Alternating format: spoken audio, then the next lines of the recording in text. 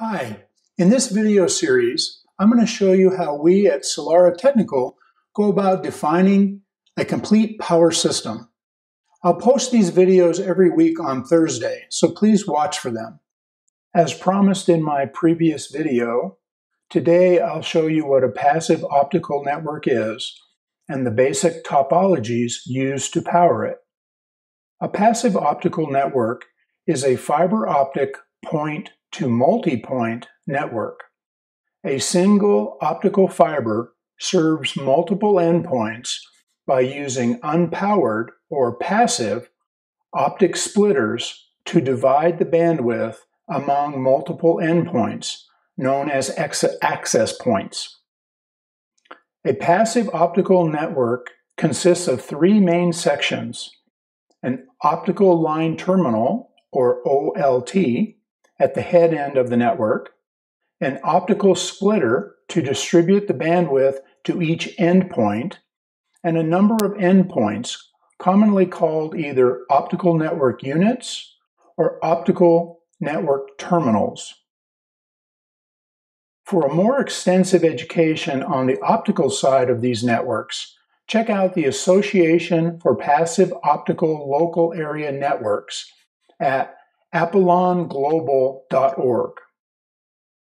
Returning to the diagram, you'll notice there are no copper wires in the fiber distribution, so there's no way to pass electrons, that is, power, from end to end.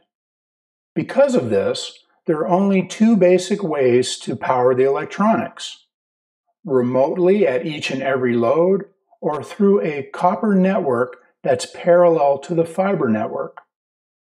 If the application can tolerate a complete shutdown when utility power to the building fails, powering each load locally should be fine. When backup power is required, replicating it at every load is expensive and difficult to maintain unless the entire building has an uninterruptible power system or UPS already in place. Some hospitals, for example, are designed this way. Still, local powering with local backup is rare. The typical solution is a parallel copper network shown here. This is the network we'll assume for our design example. The class 1 48 volt is used to power the head end or OLT of the network. The power limiters are positioned at the same physical location as the passive optical splitters.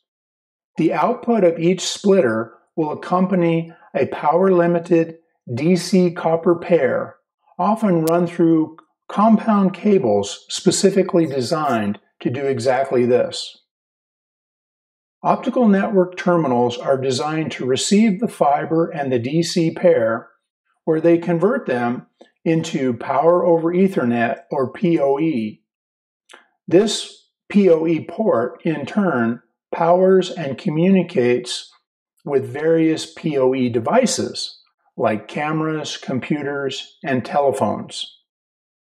In the next video, we'll start our deep dive into our power design using this parallel copper network topology. Thanks for listening. And if you need help with anything related to power, please reach out to us. It costs you nothing to chat. Until next time, have a great week.